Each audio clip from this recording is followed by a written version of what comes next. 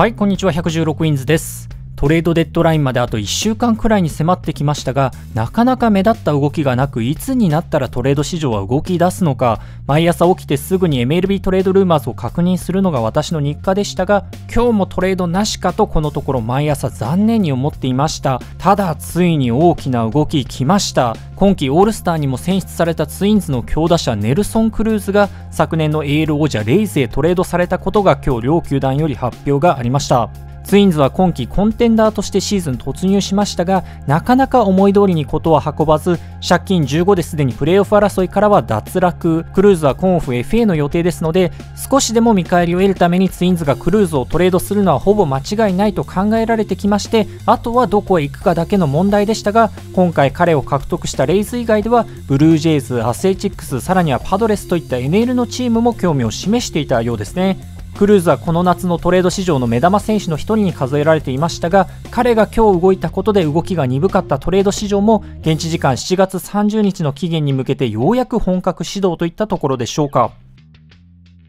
クルーズのトレードの詳細を見ていきましょう。レイズはクルーズに加えて WA のリリーフピッチャーカルビン・ファウチャーをツインズから獲得。ツインズは見返りとして MLB.com のプロスペクトランキングでレイズ参加10位の評価を受けていた先発投手ジョー・ライアンと同じランキングでレイズ参加17位の評価を受けていた先発投手ドリュー・ストロットマンを獲得しました。レイズは攻撃面に少々課題を抱えているチームで特にプレーオフで上位のチームとの対戦を考えますと打線の強化ができればしておきたかった中でクルーズという市場の中でも最高クラスのバッターを確保できたのは今後の戦いにおいても間違いなくプラスに働くかと思います。一方でツインズは契約が残り半年のクルーズでおそらく考えうる限り最高の見返りを得ることができたんじゃないかと思っています。後でも触れますがライアン、ストロットマンはいずれも今季トリプル A で先発として結果を残しており早ければ今年中にも MLB 昇格が叶いそうなプロスペクトです。クルーズを売らなければならないチーム状況となってしまったのはシーズン当初の期待を考えますと誤算ではありましたが先発の即戦力クラスのプロスペクトを今回2人も手に入れることができたのは来年以降チームの立て直しコンテンダーに舞い戻る上でも大きな力となってくれることでしょう。トレード単体では半年間のクルーズと WA で結果を残せていないリリーフに対してツインズ側が得たバリューがかなり大きいという印象もありますがただレイズのマイナーの層の厚さも考えれば許容できる範囲の見返りとも思えますしそれでクルーズというチームにインパクトを与えることができる打者を加えられるのであればレイズにとっても決して悪くない話だと思います。現状は双方にメリットの大きいトレードと考えることができるのではないでしょうか。しかしレイズ打線にクルーズが加わるのは脅威ですね。今月41歳の誕生日を迎えたクルーズですが衰える気配は全くなく今季はここまで85試合に出場して打率2割9分4厘。ホームランは19本そして OPS は9割7厘。これでも OPS の面ではツインズでの3年間の中では一番低い水準ではあるんですが、まあ普通にこの成績だったら MLB でも屈指のスラッガーと引き続き4でも差し支えないでしょう。3年ぶりのオールスターにも今季選出されました。レイズ打線はいい選手は多いという印象はありますが一方で明確にこの選手が怖いという感じのチームでもこれまでなかった印象があるんですけれどもクルーズの加入でその状況も変わってきそうですクルーズの加入はレイズ打線に大きなアップグレードをもたらしてくれるでしょう。今季のレイズはチームで打率2割3分1厘。OPS7 割1分2厘はリーグ9位。WRC プラスで見ても101と攻撃力の面ではほぼ平均的な打線と評価することができるかと思います。またクルーズが入る DH のポジションで見ても今季のレイズ DH はオースティン・メドウズが主に担ってきましたがここまでの成績で見てもこちらもリーグ平均程度。明確な弱みとまでは言えませんが逆に強みとも言えないようなチーム状況でした。そこにクルーズというリーグ屈指のスラッガーが入ると。クルーズの OPS は現在リーグ8位。これがアップグレードとならないわけないですよね。またレイズ打線はフォアボールは結構選べる一方で三振が多めで三振率26.5%はリーグワーストに近い水準となっています。もちろん三振が多いことを悪いとまでは言いませんが減らせるのであれば減らしておきたいところ。そんな中でクルーズは三振率18.2%とここでも非常に優秀な成績を残しています。アプローチが異なる打者が打線に加わったという点においてもレイズにプラスをもたらしてくれるのではないかと期待しています。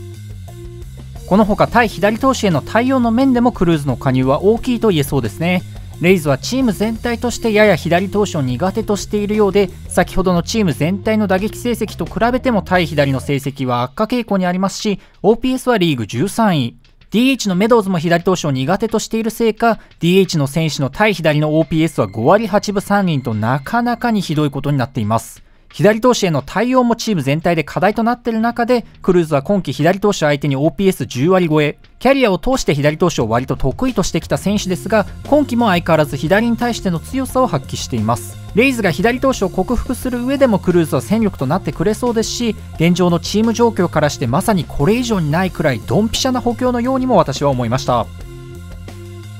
はい続いてクルーズを放出したツインズ側の見返りも見ていきましょう。まずは1人目のジョー・ライアン2018年ドラフト7巡目指名をレイズから受け、東京オリンピックのアメリカ代表にも選出されています。ライアンは速球の球速こそ90マイル前半から中盤程度ですが、独特な変化をするようでして、MLB.com のスカウティングレポートの表現を借りれば、ホップする軌道らしく、高めの速球で空振りを量産。2019年はマイナー3回走で123回3分の2で183奪三振を記録しています。ほぼ速球だけで圧倒できてしまっているため先発として上のレベルでも活躍する上ではもう少し変化球を磨いた方がいいとは考えられていますが今季トリプル A では12試合で防御率3.6357回で75奪三振に対してフォアボールはわずかに10個と好成績は残しています。変化球の進化次第では MLB のローテーション3番手くらいのポテンシャルは秘めているようなそんなプロスペクトとなっております。で2人目はドリュー・ストロットマン。2017年4巡目指名をレイズから受けルール5ドラフトの対策の一環で昨年の冬に MLB の40人枠に入っています先発投手らしさで言えばおそらく先ほどのライアンよりもこちらのストロットマンの方が先発らしいと言いましょうか変化球もカッター、スライダー、カーブ、チェンジアップと4球種を操り、またコントロールも悪くはなく、むしろ MLB.com はストロットマンのコマンドを結構高く評価しているようですね。ストロットマンは2018年にトミー・ジョン手術を受けたため、2017年からマイナーでプレーしている割にはマイナーでのイニング数が多くありませんが、今季はトリプル A で13試合に登板し防御率3.39、58回3分の1は1年間のイニング数としてはすでにキャリアハイとなっています。コマンドの評価が高い割に今季フォアボールがやや多めで9イニングあたり5.1個なのは少々気になるところであるんですけれどもこちらも成長次第ではローテーションを張れる選手に十分なれるでしょう。何度も言いますが契約が残り半年のクルーズの見返りとしては、まあ、ご覧の2人の先発のプロスペクトですからなかなか充実したパッケージのように個人的には思いました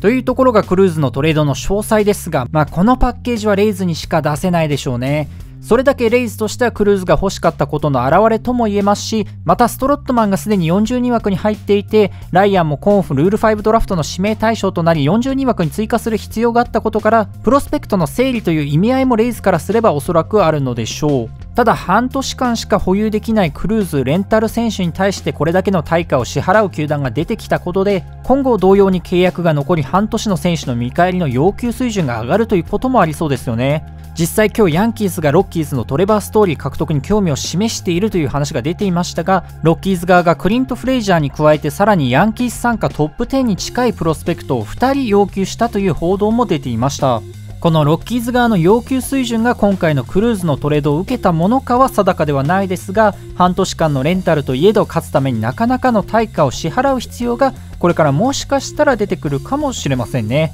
ということで今回の動画は以上としたいと思います。今後もですねメルビーに関する動画を上げていきますので興味のある方はぜひチャンネル登録していただけると幸いです。それではご視聴ありがとうございました。